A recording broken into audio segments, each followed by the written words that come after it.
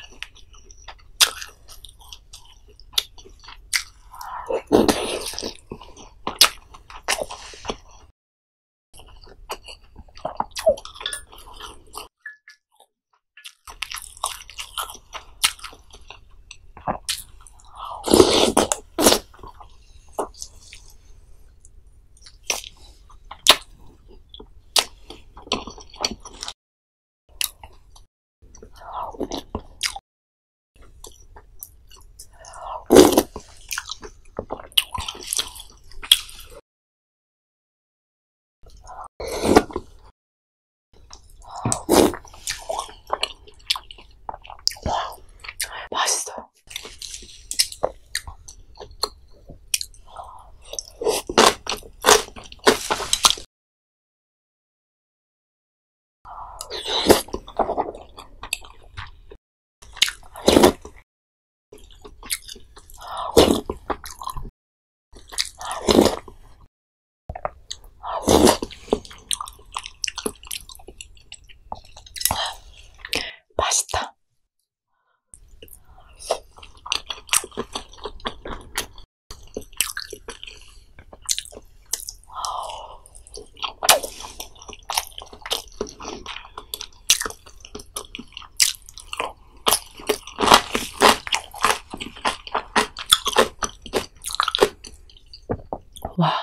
정말 든든한 한 끼.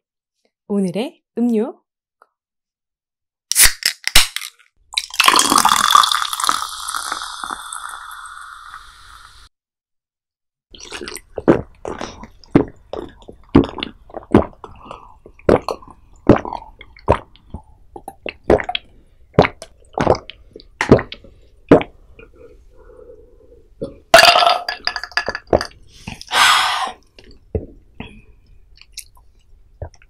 좋다. 오늘도 잘 먹었습니다. 안녕. 굿.